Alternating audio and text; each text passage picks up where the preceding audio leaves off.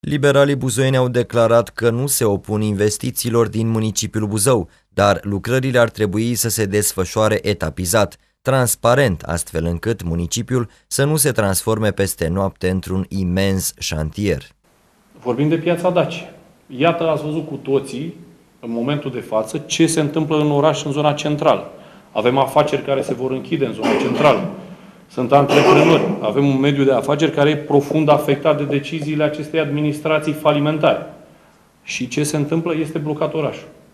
Ne întrebăm cu toții, oare unde o să parcăm acum la piață?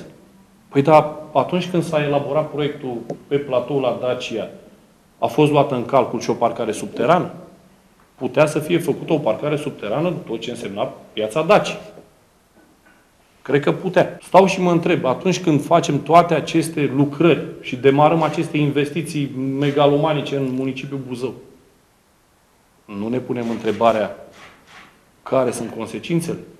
Dacă putem noi ca municipalitate să ducem toate investițiile astea pornite deodată, șantierele, că până la urmă Buzău e un șantier de colo până acolo. În contextul lucrărilor de asfaltare, liberalii au aruncat săgeți către poliția rutieră. Au fost sau nu acordate avize pentru cele trei mari artere ale orașului și în zona centrală. Era un domn consilier local foarte vocal pe Facebook, de altfel, care spunea că există studii de trafic.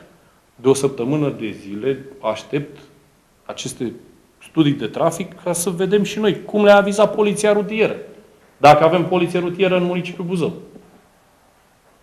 Avem sau nu avem? Că eu nu-mi dau seama dacă avem. În urma unei solicitări, reprezentanții Inspectoratului Județean de Poliție au transmis că administratorul drumului a solicitat avizul serviciului rutier din cadrul Inspectoratului Județean de Poliție Buzău pentru resistematizarea zonei centrale a municipiului reședință de județ, respectiv celelalte zone menționate de dumneavoastră, Bulevardul Industriilor, Strada Transilvaniei și Bulevardul Unirii, în acest sens fiind emis aviz favorabil.